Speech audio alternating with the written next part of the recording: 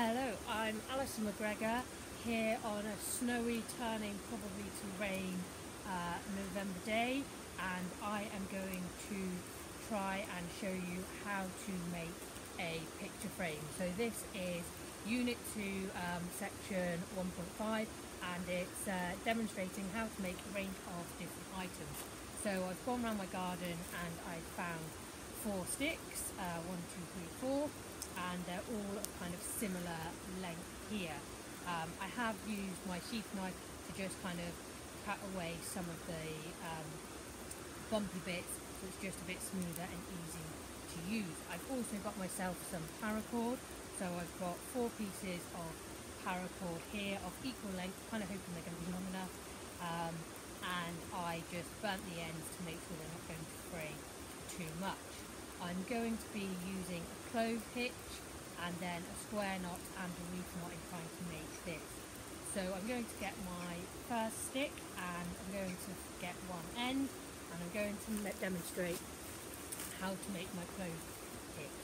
So I'm going to um, pass my rope over my stick here and I'm going to um, pull the uh, back rope forward and then across and over the standing end to create a cross and then my back rope is going to be pulled forward again and it's going to go up and underneath the cross and then I'm going to pull it tight and there I've got my clove hitch. Um, I put it towards the end of one piece of my stick and what I try to do is have a long piece of length free because then it will make it easier for me to do my square lashing a little bit later on. So that's stick number one done. I'm going to put that down and then I'm going to create the other one. So stick number two, um, paracord, going to pass over the string uh, again at the end of my stick, just a couple of inches in. I'm going to pull the back uh, piece of rope forward and across, creating that cross. Then this back end comes forward and just tucks underneath the cross and you pull it up and pull tight. So that's number two. So I'm going to put that down. I've got number two there. Number three. Thing is getting a little bit chilly in this weather, but we're going to carry on going. So um, my other stick, I've also tried to make sure the sticks are uh, similar diameter. This one's a little bit skinnier. So pass over the, um, the rope or the paracord, uh, pull it through from the back, make that cross, comes to the back and then pull it forward through the cross, pull up, pull down, and there's my third clove hitch. All towards the end, lying down here in front of me, um, just on my knees here, quite comfy on a piece of tarp. Okay, then my final clove hitch. So here's my paracord, up and over the end, and then make that cross in front going across the standing end. Just get myself a bit more string there. Um, pull that piece of back string forward, up through the cross, pull up, pull down, pulling it tight. So now I've got my four sticks with their four pieces of paracord and four clove hitches. So now to try and put them all together using a square lashing. So I'm going to take one with the string end and then one with a um, the non-string end and I'm going to create a 90 degree angle there kind of across and I'm going to use the long length of my paracord to create my square lashing. I'm going to put my thumb on the top, just hold it in place. I'm just going to scooch down a bit and then get myself comfy. I'm going to use the long part and I'm going to go away from me and it's going to go over the top of the um, stick away from me and then come back towards me and then underneath that stick and then over the top towards me underneath. And then I've done that once I'm going to do it once more. So over the top of this stick and then underneath towards me over the top near me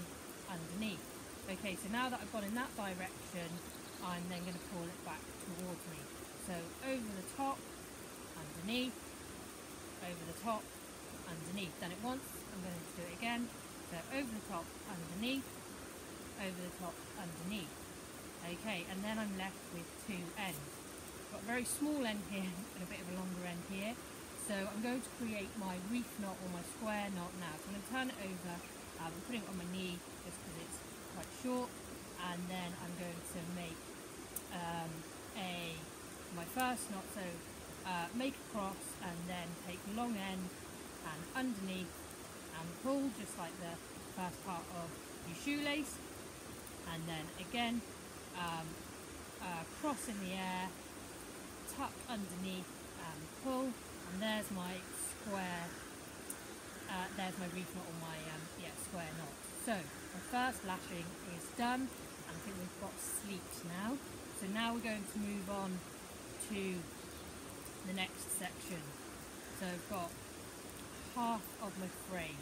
I'm going to pick up a, another one of my sticks again. So I'm going to get the end that's not got the knot on and I'm going to make that right angle there to create my square lashing and secure these two sticks together to make my picture frame. Just going to pull that clove hitch a bit tighter. It's a little bit wet in the snow and the rain. Right, so I've got that right angle. So I'm going to do the square lashing now. So it's going to go away from me, underneath that stick, over the top there, underneath this one, over the top and again. So underneath, over the top, underneath, over the top. Right, done that twice. Now I'm going to go in the opposite direction to secure it. So underneath, over the top, underneath, over the top, trying to keep it as tight as possible and so therefore it's really secure. Okay, last one. Underneath, over the top, underneath, over the top. And again, I've just realised on my clothes here, not got myself lots of to try and secure off and tie off with that reef knot. So, underneath to create that first knot and then tie that off and then again just one more round and then using my paracord to pull that tight and then I've got my reef knot there. So two parts secured now to do the last one. I'm just going to lie it down in front of me there so again, we want to have um, non-string end to string end. I'm just going to give myself actually a little bit more um, paracord on this side just so it makes it a bit easier to make that knot at the end. Okay.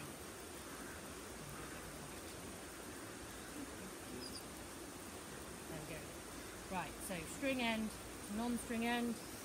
Going to create that 90 degree angle there as you can see and now I'm going to do my um, my square lashing so getting the long piece of my paracord and it's going to go underneath away from me over the top underneath over the top underneath over the top underneath and then back the other way so over the top, underneath, over the top, underneath once more, over the top, underneath, over the top. And then again, finishing off with that square lashing. I'm just going to turn this upside down. And then one piece over the other, underneath and pull. And then opposite direction, uh, make, make a cross and then pull it through the hole, put it through the hole,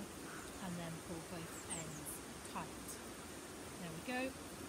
So now, as you can see, we are nearly there. So luckily I've now got my non-string end onto my string end with my last bit of clove hitch to make my picture frame.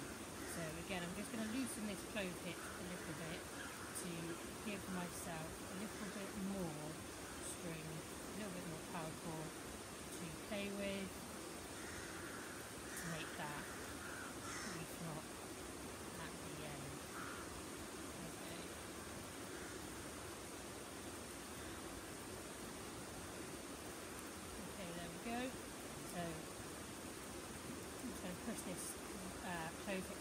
further down, try and get it all a bit even. That knot quick. Okay, pulling my clothes tight, putting uh, then at a 90 degree angle, so I've got my frame there.